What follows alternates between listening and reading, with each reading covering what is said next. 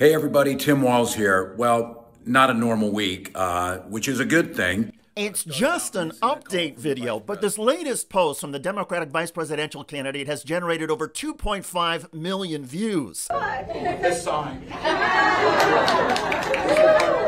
Another video of Tim Walz taking a selfie with Kamala Harris has more than a million. In just a few weeks, Tim Walz has become a political and viral sensation. Wow. Especially with millennial women.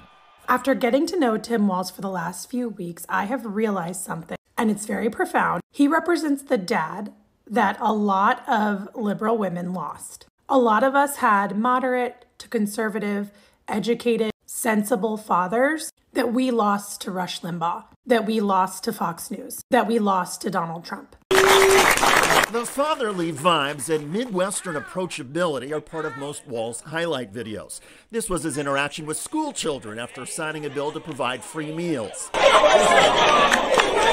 Last year, Walz and his daughter promoted the Minnesota State Fair. I think we're gonna go do the slingshot. Which I don't know what it is, and they're keeping it from me. But then we're going to go get some food, corn dog, I'm vegetarian. turkey then.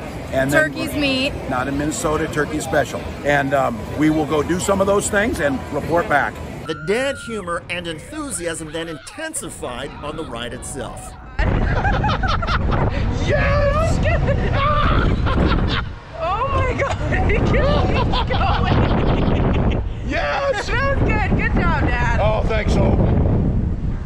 All right, Minnesota, it's worth it. But the Walz personality, which friends say is the same at home and at work, is more than just joy and a quick wit. Okay. By all accounts, Tim Walz is also earnest and direct. We can't talk about public safety without talking about guns, so let's have that conversation. I'll go ahead. I'll go ahead and put my credibility up against anyone on this issue. I'm a veteran and I'm a hunter. And for many years, I was one of the best shots in Congress, and I got the dang trophies to prove it. I know guns as well as anyone, but I'm sick and tired of talking about that because I'm a, not just a veteran, not just a hunter, not just a gun owner. I'm a father, and for many years I was a teacher. And we all know damn well weapons of war have no place in our schools, in our churches, in our banks, or anyone wants to live in peace. Hmm, many of those videos have been circulating in Minnesota for a while now, but they are getting another look, going viral, and becoming paired with more recent clips of Tim Walz on the Harris campaign trail. It was just a few weeks ago when the Harris campaign confirmed that the Minnesota governor was one of a dozen Democratic leaders that she was considering as a running mate. The campaign encouraged Walz as part of his audition to make a string of media appearances. He did. And segments like this reportedly caught the attention of Harris herself.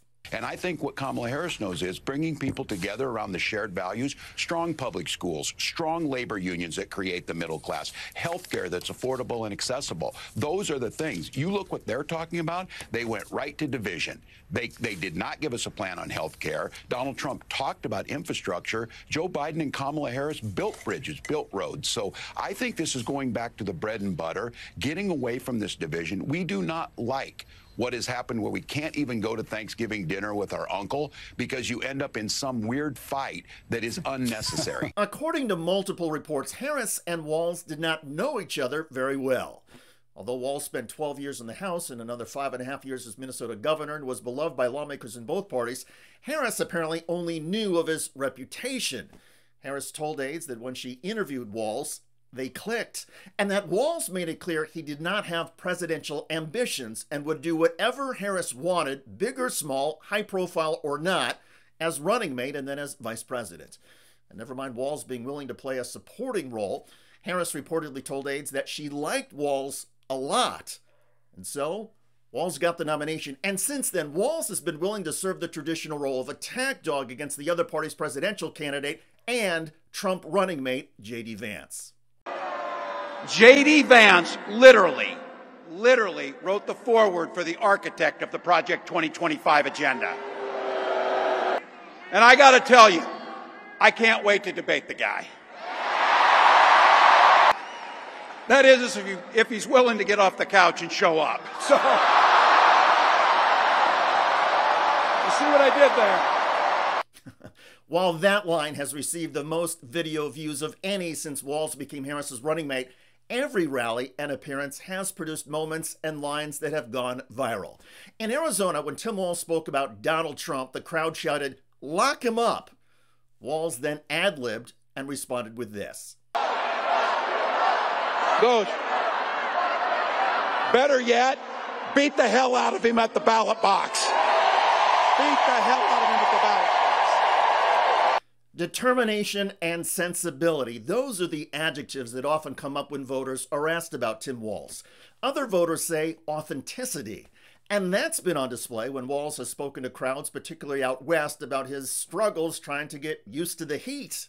Now, I know some of you spent the week Googling Minnesota a little bit and to figure out who these Minnesotans were.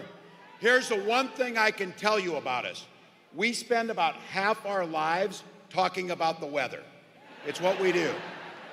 So I want to say thank you to all of the people since I've been here to remind me that it's a dry heat outside. Dad humor, totally. But for Tim Walz, it works. He's like the upbeat uncle or father figure who will happily teach you how to change the tires on your car. Several women have said that Walz is that older guy at the bar who will step up and defend you from the aggressive weirdo who's trying to spike your drink. That perception of Walz ties in with one of his signature campaign lines. You know what makes society work best? Is when you learn a golden rule mind your own damn business. Mind your own damn business. We don't need it. There is something else about Tim Walz that is getting a lot of attention from political analysts.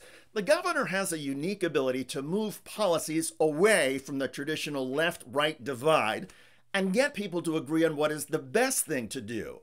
He has a way of taking ideology out of policies and making them seem like things Americans can get together on. Walz himself has used that to move to the left on several issues where he was previously more conservative. And that brings us back to Pamela, the woman on TikTok we showed earlier in this video. Here she is again. I get thousands and thousands and thousands of comments about how being a liberal white woman is the worst thing that someone can be, how I'm a disgusting, ugly Karen, and every now and then I'll get a comment from someone that says, I bet your dad doesn't even love you. And even though I know my dad loves me in his the only way that he can, I know that my dad feels the exact same way as all those other weird men in my comments. And seeing Tim Walz, seeing that he was an educated conservative that saw the party getting weird and changed his mind, shifted his mindset. And now he's this altruistic character who does the slingshot with his daughter at the fair. He's just chill and normal and kind and sensible. He has empathy. He represents all of those qualities that were stripped away from my normal father by this cult. And it makes me sad to see him because I think what kind of person would my dad have been if he didn't fall victim to this nightmare?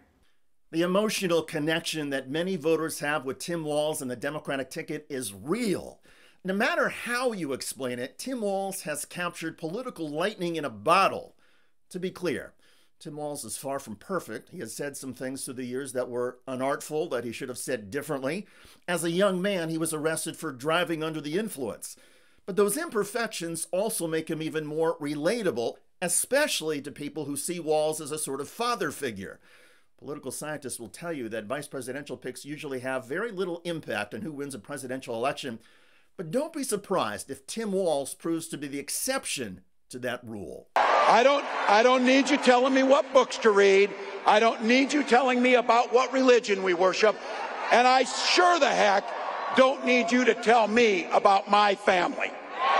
We're just getting this thing started, but it is off and running. So uh, follow along, get involved, uh, make an effort to talk to somebody about a positive vision of this country that we all know is there, and uh, we'll see you out on the trail.